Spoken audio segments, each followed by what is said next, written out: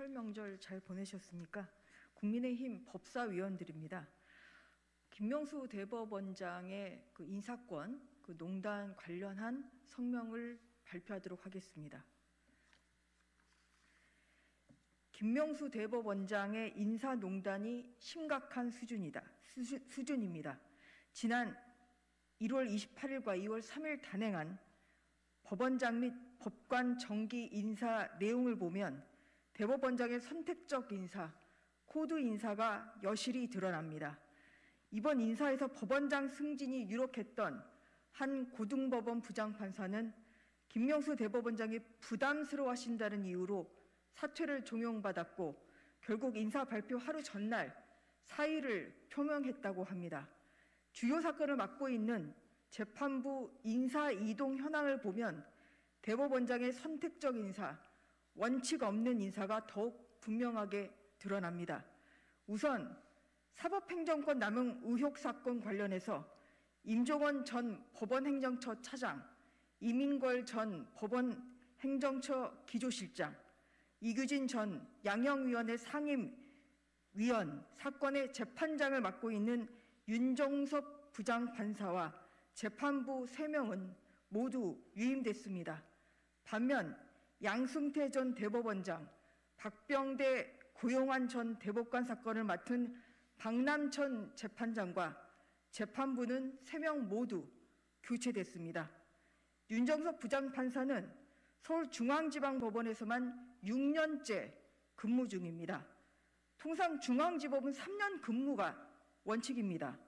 특정 사건 재판 마무리를 위해 3년 넘게 근무한 경우는 있었지만 이렇게 오래 근무한 일은 전무후무합니다.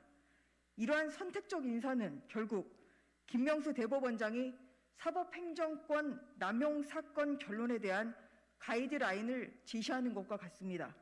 오는 18일 이민걸 판사와 이규진 전 판사의 사법행정권 남용 사건 선고를 앞두고 있습니다. 임종원 전 차장을 비롯한 사법행정권 남용 의혹 사건에 대한 윤종섭 재판부의 강경 입장이 이번 인사에 반영돼서 위임된 것 같다는 이야기도 법원 내부에서 흘러나오고 있습니다. 심지어 법조계에서는 오는 18일 선고 예정인 이민걸 판사와 이규진 전 판사 사건에서 실형이 선고돼서 법정 구속이 될 것이라는 추측마저 나오고 있는 상황입니다. 이뿐만이 아닙니다. 윤종석 부장판사가 속한 형사 합의 36부 배석 판사 2명도 각각 4년째, 5년째 이례적으로 중앙지법에서 근무 중입니다. 배석 판사들은 2, 3년간 근무 후 다른 법원으로 전보되는 것이 원칙이지만 4년째, 5년째 근무하는 것은 유례를 찾아볼 수 없는 인사입니다. 반면 박남천 부장판사는 2018년 중앙지법 부임 후 3년을 채우고 이번 인사에서 다른 법원으로 발령이 났고 두 명의 배석 판사도 2, 3년 만에 이동해서 전원 교체됐습니다. 이처럼 주요 사건이 진행 중인 상황에서 재판부가 전원 교체된 것 또한 이례적인 일입니다. 더군다나 형사 36부 윤종석 부장판사 재판부와 형사 35부 박남천 부장판사 재판부의 좌배석 판사는 모두 같은 43기입니다. 서울 근무 4년이 돼서 원칙에 따라 이번에 지방 발령 대상이었지만 유독 윤종섭 재판부의 배석 판사만 유임됐습니다. 도대체 법원의 인사 기준이 무엇인지 도무지 알 수 없다는 말이 나오는 이유입니다.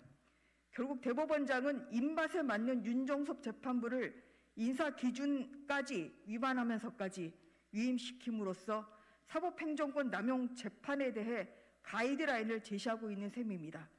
이번에 새로 임용된 성지용 서울중앙지방법원장과 고영금 형사수석부장은 국제인권법 연구회 출신으로 두 명 다 법원의 판사 블랙리스트 의혹 진상조사단으로 활동한 경력이 있습니다.